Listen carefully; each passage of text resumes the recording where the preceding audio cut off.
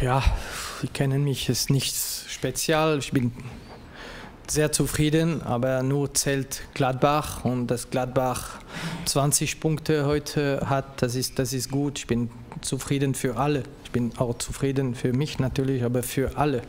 Und äh,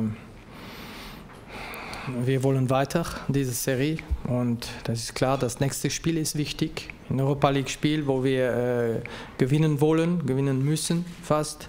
Und, und für heute, das ist klar, es war wichtig, dass wir gegen eine sehr gute Mannschaft gewinnen. Es ist sehr, sehr schwer, immer gegen Offenheim zu spielen. Haben wir Mühe in der Vergangenheit und das hat heute geklappt, war, war wichtig für mich. Aber ich habe Enes Weisweiler kennengelernt, als er Trainer war bei Grasshopper Zürich. Ich war noch Spieler. Das war ein Top-Trainer Top natürlich mit viel Charism, Charism, Charisma. Charisma. Und, äh, und ich hatte einen guten Kontakt mit, mit, mit ihm, als ich ihn getroffen habe. Zwei, dreimal. Er war auf der Bank und so und das war ein, ein Gentleman auch.